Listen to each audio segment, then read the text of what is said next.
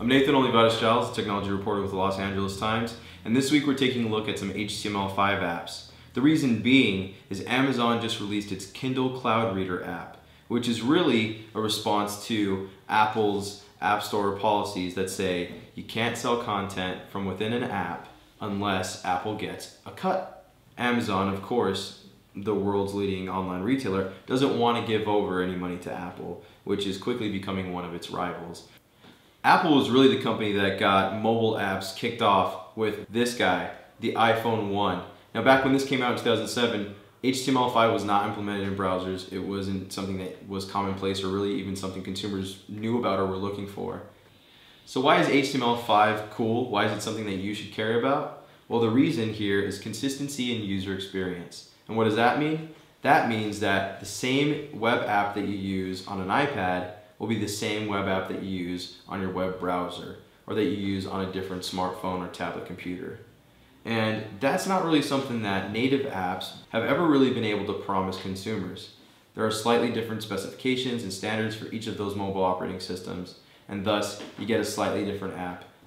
So the Kindle Cloud Reader HTML5 app and the Kindle native iOS app work exactly the same and really do give you a very similar experience. The big difference here is that the Kindle Cloud Reader app allows you to buy books from within the app if you want to buy a book and you're just using the native app, you have to exit out of the app, go to Safari, open up Amazon, buy the book, download it, come back to your native Kindle app. It's a real pain in the butt. But here you can actually do all that stuff in one place.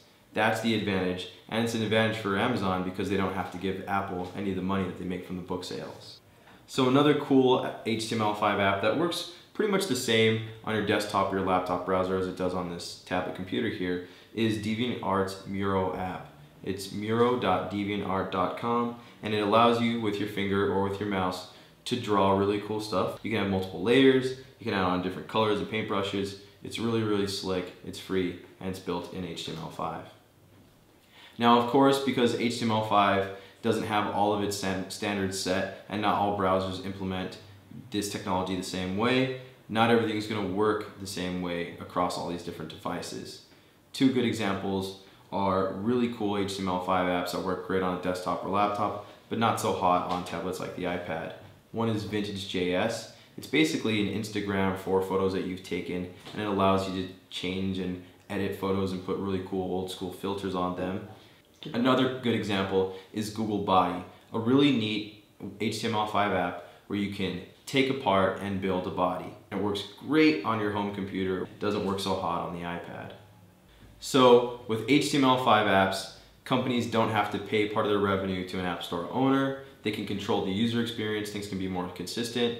Now HTML5 doesn't allow companies to offer everything that they can offer in a native app, but that's where things are headed. This is where I think the future is at. Where do you stand?